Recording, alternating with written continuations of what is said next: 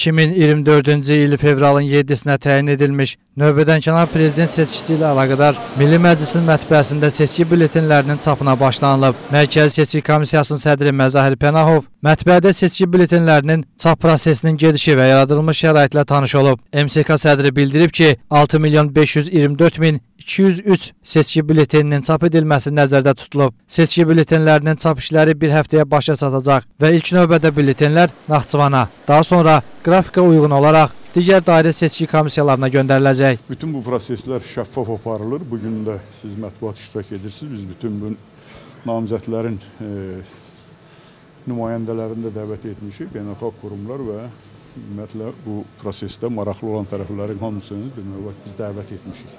Dediyim kimi birinci biz Naxçıvana demək yola salacağıq. Ənənəvi olaraq həmişə olduğu kimi çünki bilirsiniz ki, təyyarə ilə çatdırılır.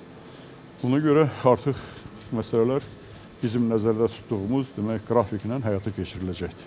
Məzahir Pənahov onda əlavə edib ki, exit polun keçirilməsi üçün 3 təşkilat müraciət edib. Növbədənkənar prezident seçkisini izləmək üçün qeydiyyatdan keçən müşahidəçilərin sayı isə 64 minə yaxındır. Onlardan 400-ü beynəlxalq müşahidəçidir. Fuad Sadıqov, Arif Əliyev, APA TV.